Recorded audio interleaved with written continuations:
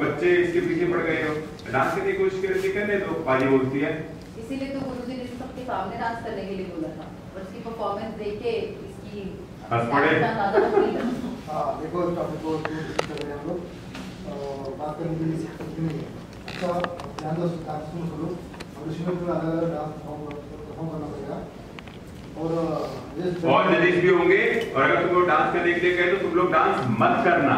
जो फॉर्म तुम्हें नहीं आता तुम उसे मत करना। अदरवाइज़ तुम क्वालिफाई नहीं कर पाओगे। समझे सब लोग?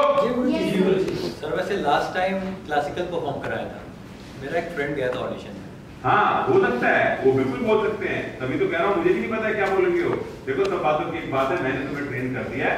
अब तुम लोग अच्छे से डांस करो मेरा नाम रोशन करो और सबसे इम्पोर्टेंट एक बात बेटा सब लोग ध्यान रखना अगर गलती से भी कोई क्वालिफाई नहीं कर पाया तो दुखी होने की ज़रूरत नहीं है ज़िंदगी बहुत मौके देती है। समझे सब लोग?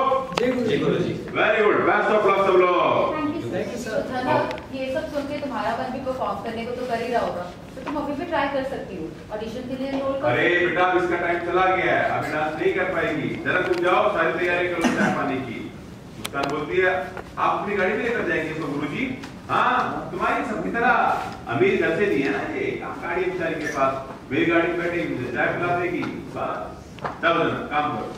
हो गई। जी तुम्हारी तरफ़ घूम गए। और बोलते अच्छा बेटा अभी सब लोग टाइम पास बंद करो और अपने काम पे ध्यान दो ठीक है? और सब लोग इकट्ठे इकट्ठे होकर बात करना शुरू कर दो फॉलो करूँगा तब निकल जाओ वहाँ से। सब बात करो स्लो स्लो पहले बाजी और मुस्कान